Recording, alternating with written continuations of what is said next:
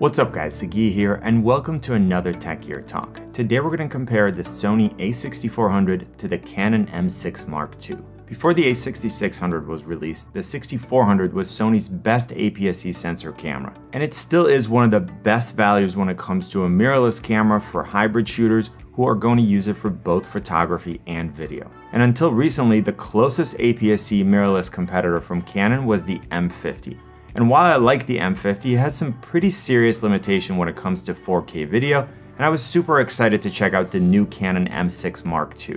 I'm going to talk about the strengths and weaknesses of both cameras when it comes to both photography and video, and hopefully I can help you decide which option is best for you. My goal with every camera comparison is to give you a detailed overview of the cameras and compare them in a way that relates to real life use. I will go over some of the important specs of these two cameras, but I'm gonna focus on sharing my actual user experience with you. Before getting into the detailed comparison, I'm gonna quickly go over some overall key features in case you're just starting your research. The A6400 has a really nice magnesium alloy body with sealed buttons and dials. It has a 24 megapixel APS-C CMOS sensor and the BIONZ X image processor. It can shoot it up to 4K 30 frames per second and 1080p or Full HD at 120 frames per second. It uses a hybrid autofocus system with 425 phase and contrast detection points. It has a 3-inch flip LCD screen and can internally record 4K 30 420 and externally at 422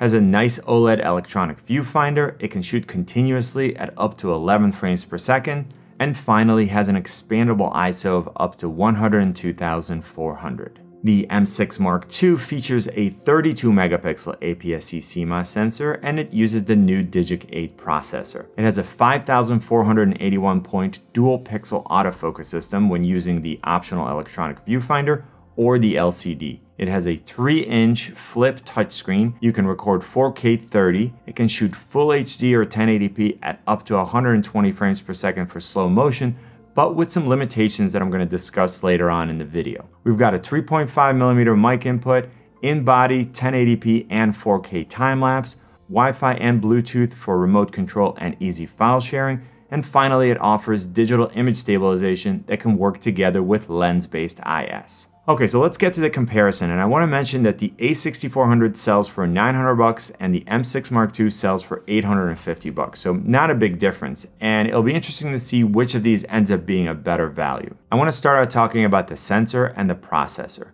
The A6400 comes with a 24 megapixel APS-C CMOS sensor, and the M6 Mark II comes with a 32 megapixel APS-C CMOS sensor. Both sensors performed really well for me for both photography and video, and I'll talk more about the differences in the image quality section. The Sony APS-C sensor has a crop factor of 1.5x, and the Canon sensor has a crop factor of 1.6x. That means that if I put a 50mm lens on the A6400 and apply a 1.5x crop, it will give me a full frame equivalent field of view of 75mm. On the other hand, if I put the same lens on the M6 Mark II, I have to apply a crop factor of 1.6x, and now I'm getting an 80mm equivalent field of view.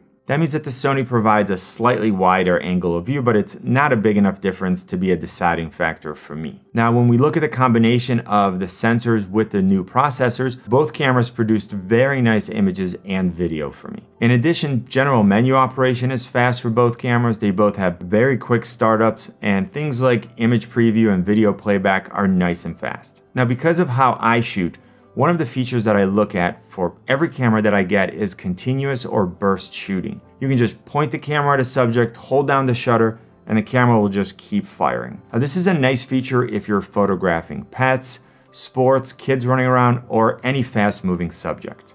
Now, of course, the more frames per second the camera gives you, the more exposures you'll have to pick from later on. And the more likely it is that you're gonna get the exact shot that you want. Now, the A6400 can shoot it up to 11 frames per second in burst mode, and the M6 Mark II can shoot it up to 14 frames per second. When we look at buffer memory, we see that Sony reports 99 JPEGs or 46 RAW images for the A6400, versus 54 JPEG and 23 RAW images for the M6 Mark II.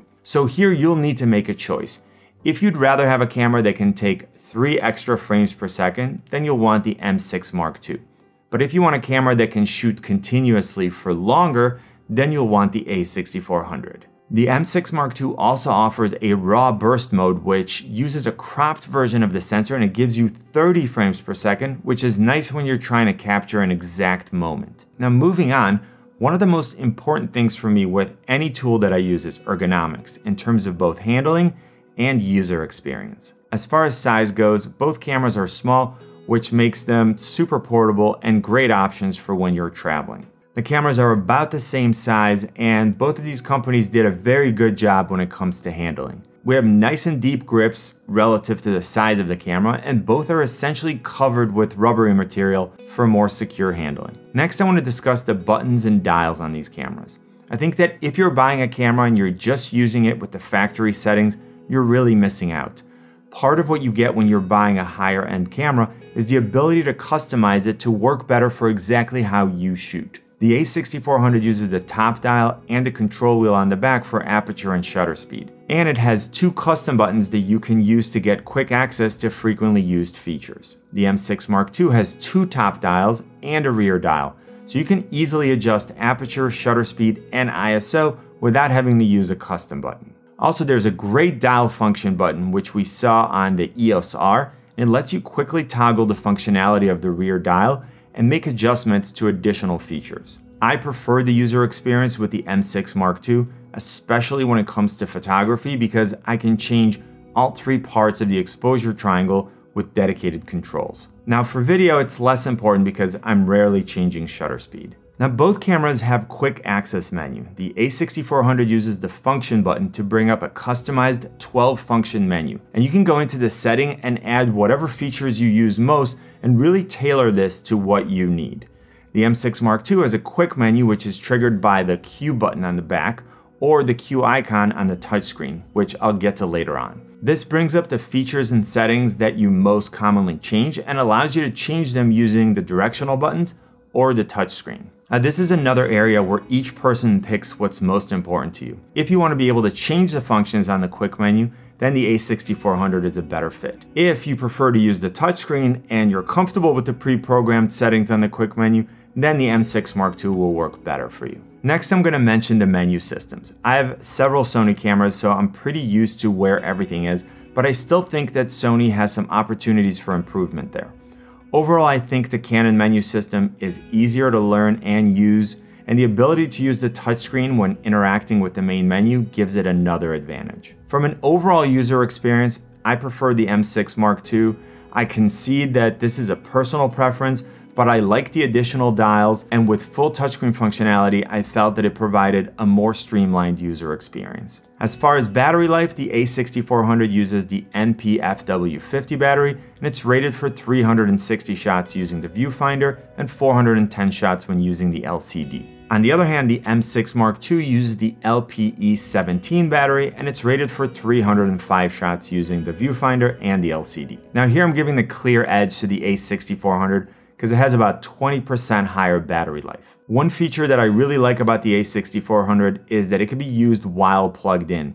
So if you record long video sessions or for streaming, you don't have to worry about the battery. The M6 Mark II does have a similar feature, but you have to use a coupler if that's something that you're interested in. Now when it comes to charging, the A6400 doesn't come with a battery charger, so you have to charge the battery in the camera. The M6 Mark II on the other hand does come with a dedicated battery charger and you are able to charge the battery in camera but only if you use a power delivery capable power source. If you end up buying extra batteries for the A6400, just remember that you'll also need to pick up a charger so that you can charge the battery while you're using the other one in the camera. All right, now let's talk a little bit about the viewfinder. Because of the A6400's rangefinder style design, the viewfinder doesn't protrude from the top of the body and it contributes to a more compact design. Now going to the M6 Mark II, well, you probably noticed that there is no viewfinder on the M6 Mark II. And that's because Canon offers the EVF DC2 as an optional feature for an additional 200 bucks. And this EVF connects to the M6 Mark II using the hot shoe mount. If you're in the US and you buy the M6 Mark II with a kit lens, then the viewfinder is included. I'm definitely going to give the edge here to the A6400. First, the viewfinder is included for the price even if you just buy the body. Next, it doesn't increase the size of the body And finally, it doesn't require you to use the hot shoe mount. On the M6 Mark II, you can't use an external flash if you use the EVF because the DC2 is already occupying the hot shoe mount. Next, I want to talk about resolution, frame rate, and image quality. For photography, the a6400 offers a 6000 by 4000 pixel image, and the M6 Mark II has a maximum image resolution of 6960 by 4640, which is quite a bit larger. And when shooting stills, this means that you'll have more flexibility with cropping on the higher resolution sensor. Both cameras can shoot in JPEG and RAW, so you can decide just how much information you want to capture depending on what you want to do with the images in post-production. Personally, I always shoot in both JPEG and RAW so that I can make that decision later on. I was super happy with the images I got from both cameras. The photos were sharp and had good dynamic range. I like the low light performance of the a6400 a little better, but I prefer the JPEG color processing on the M6 Mark II. I can do a more detailed image quality comparison in another video, so if that's something that you're interested in, let me know in the comment section and make sure that you're subscribed and have notifications turned on. For video, the a6400 can record 4K at 24 and 30 frames per second, and Full HD or 1080p at 24, 30, 60, and 120 frames per second. I do want to mention that 4K 30 has a 1.2x crop, so we're losing a little bit of the frame. The M6 Mark II can shoot 4K only at 30 frames per second, and Full HD or 1080p at 30 and 60 frames per second. There is a high frame rate option which gives you 1080p at 120 frames per second, but there is no autofocus, so you'll have to use manual focus, which is a little bit limiting. Canon has announced that it's releasing a new firmware update for the M6 Mark II, which will add 24 frames per second for both 4K and 1080p. And it's already done that to the similarly featured 90D. What's nice to see here is the 4K on the M6 Mark II is no longer limited by an additional crop factor of 1.7x like it was on the M50, and it also uses the dual pixel autofocus. When we're looking at resolution and frame rate, it's kind of a mixed bag. The a6400 currently has the advantage with 4K in both 24 and 30, and 1080p at 120 frames per second for slow motion with autofocus. The M6 Mark II can shoot 4K 30 without the additional crop of the a6400, but it doesn't offer 24 frames per second in 4K or 1080p yet, and 120 frames per second doesn't offer autofocus. And both cameras can also record 8-bit 4K 30 422 using a clean HDMI out. Overall 4K footage from the a6400 is slightly sharper and more detailed than the M6 Mark II because the a6400 downsamples from 6K, so if that's a priority for you, I would suggest you go with the Sony. However, because the M6 Mark II 4K is up or subsampled, which does result in a less sharp image, it does have the advantage of a much lower rolling shutter. For 1080p, I think I prefer the M6 Mark II footage to that of the a6400, and it's probably on par with the XT30, which if you've watched that review is saying a lot. And just to switch it back up on you, if you plan on doing a lot of slow motion, then I suggest you go with the a6400, because you have the option to use autofocus, whereas the M6 Mark II requires you to use manual focus. The a6400 also offers a video option called S&Q, which if you're familiar with, allows you to select frame rates ranging from 1 frames per second all the way up to 120 frames per second. And the camera will either slow down or speed it up to either 24 or 30 frames per second for you. So if you're using S&Q 120 and then you watch the clip in the camera on the computer, it's already slowed down versus using regular 1080p 120 frames per second, which you need to slow down using the video editor. Next, let's talk about time-lapse. The a6400 offers interval shooting, which lets you have full control over your time-lapse. You can drag your shutter, you can get the exact results that you want. Now, once you're done shooting, you'll have to take the individual photos and compile a time-lapse video using software the M6 Mark II comes with in-body 4K time-lapse, meaning that the camera will actually compile the time-lapse for you so that it's ready to be viewed. And another great thing about the M6 Mark II is that Canon made a significant upgrade here so that you're no longer limited by a 2 second shutter speed. You can now go all the way up to, I believe, 30 seconds. I'm not going to pick a winner here because different users are going to have different preferences. Some people are going to like the additional level of control of processing the time lapse in post production, and some people are going to like the ease of use of having the camera do everything for them. Moving on, let's talk about live streaming. As I mentioned, both cameras offer a clean HDMI, so you can easily live stream with continuous autofocus and get amazing sharp video that's always in focus. An area where I give the a6400 the edge is that it doesn't have a 30 minute recording limit for video.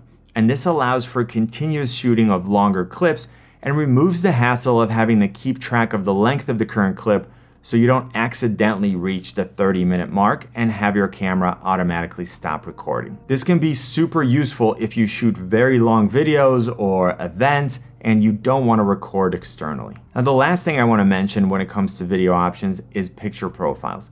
This is another area where I give the a6400 the edge. Canon did not include C-Log with the M6 Mark II, whereas the a6400 offers S-Log 2, 3, and HLG for a more flat image that gives you additional flexibility when it comes to color correcting and grading.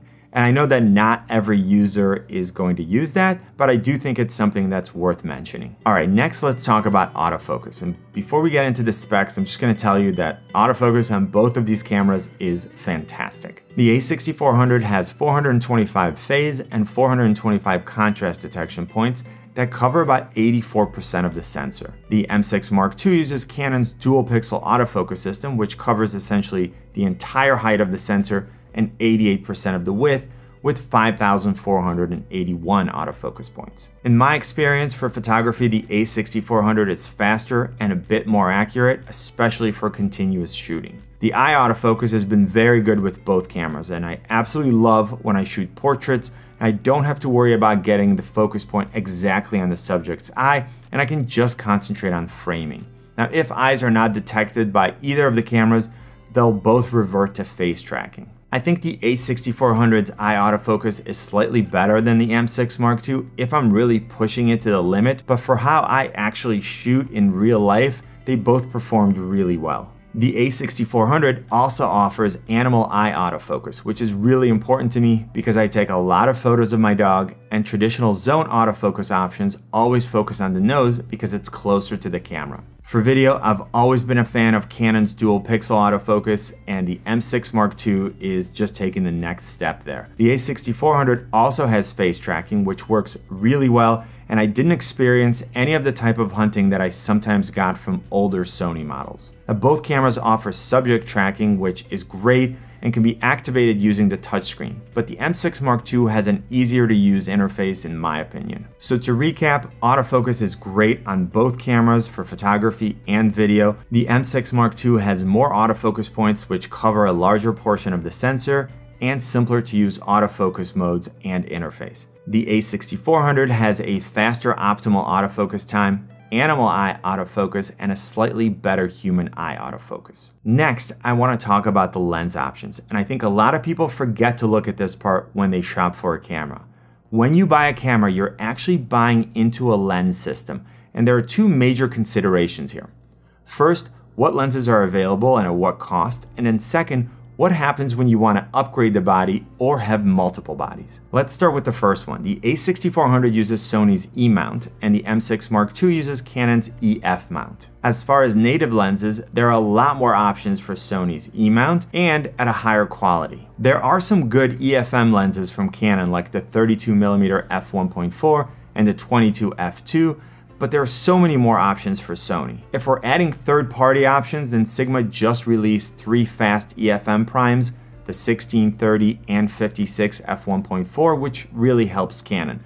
But of course, these lenses are also available for Sony. On the M6 Mark II, you can get an adapter and then use any of Canon's EF and EFS mount lenses, which now opens up tons of additional options, but you need another piece of gear with you. Now I want to talk about the second consideration, which is upgrading or using multiple bodies. In the case of Sony, if you end up upgrading to one of their full frame bodies like the a7 III, you'll be able to use the same lenses because both their APS-C and full frame bodies use the E-mount. If you buy APS-C lenses, you'll have to switch your full frame camera to Super 35 or APS-C mode and if you buy full frame lenses, then of course you can use them natively on the a6400. The last thing to consider here is that you can't use any of Canon's new RF mount lenses with the M6 Mark II.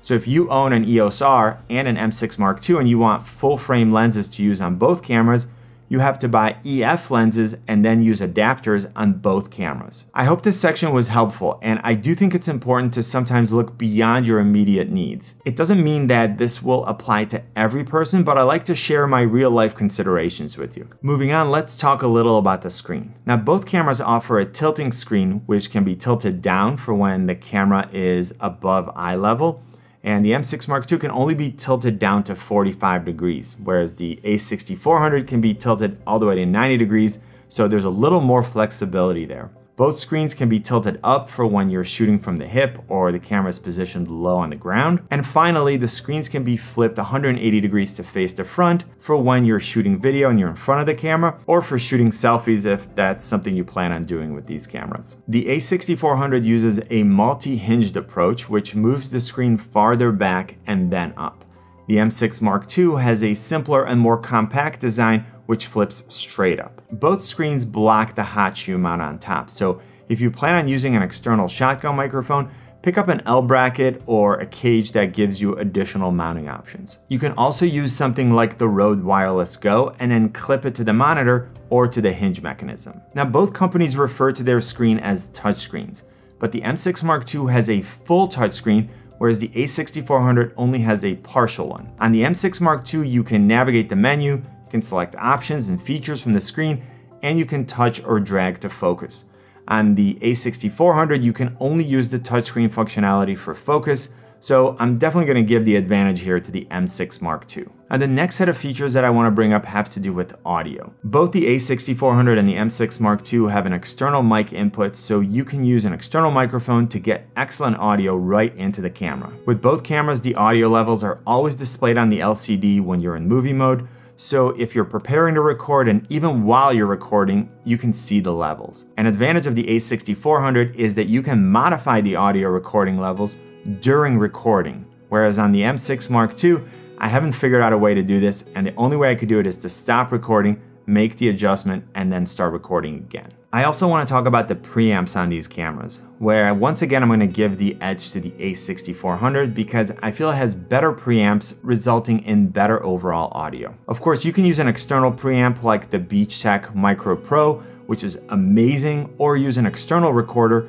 but recording straight into the camera, I'm gonna give the A6400 the edge. I put out a video discussing the importance of audio for video and I'll link to it up in the corner and in the description. I also want to talk about other features that these cameras have that could help you make a buying decision. First, I want to talk about image stabilization. So the A6400 doesn't have image stabilization. You'll have to rely on lens-based OSS. The M6 Mark II doesn't have sensor shifting in-body image stabilization, but it does offer in-body digital image stabilization, which can work together with lens-based IS. So if you're walking around and hand holding the camera, you'll definitely notice a difference when adding digital image stabilization to lens-based IS.